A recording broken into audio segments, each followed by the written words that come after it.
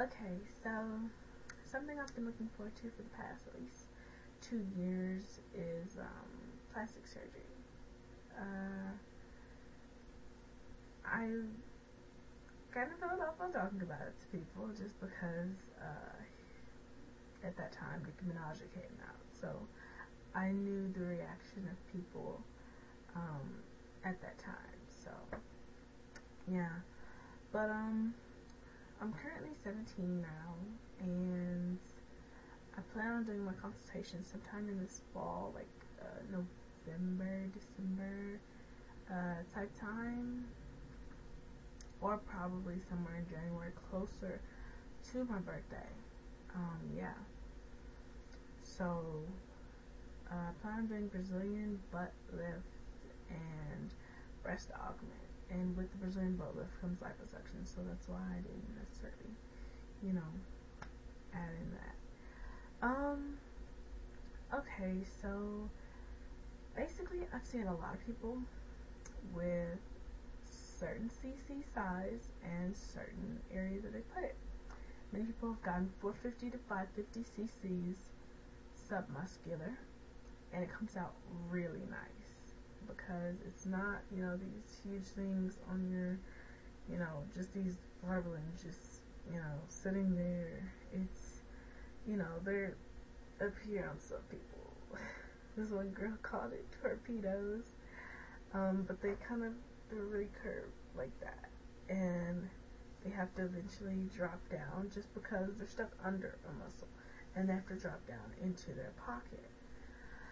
Um, but that gives people that gave those people about a D to a double D.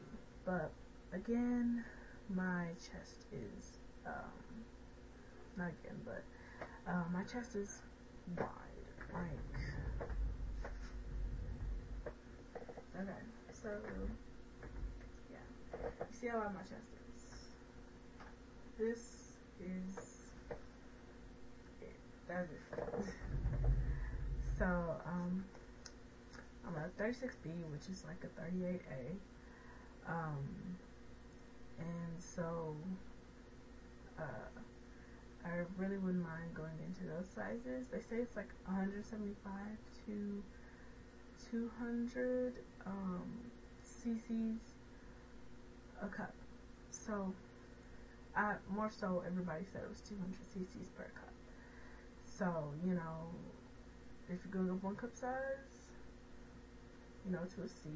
If you are a B and you go to a C, then it's, you know, um, 200 cc's. If you're going C to a D, it's an extra cup. But if you're going from an A to a D, that is like three sizes.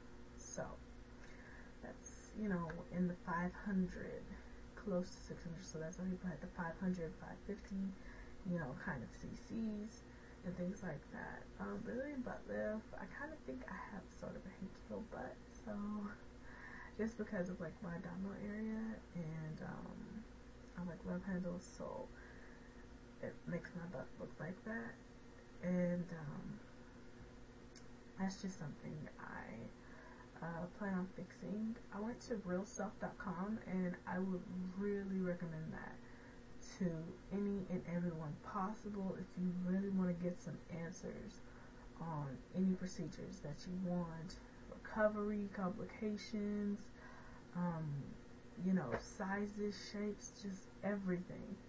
Um, that really helps, and it helps you get a feel as to a doctor's real opinion. You know, these are people who are, you know, your height, your age, your weight, you know, something like that, and they're asking these questions. Um, and you're also able to ask questions too, but I've been having complications with being able to ask questions, so I don't know.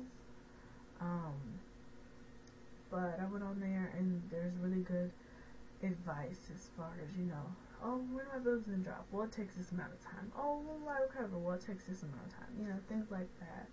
So, um, I look forward to uh, probably next year consulting with a um, and my plastic surgeon, Dr. Mead. He's here in Dallas, and um, making all my, you know, dreams come true. So, yeah.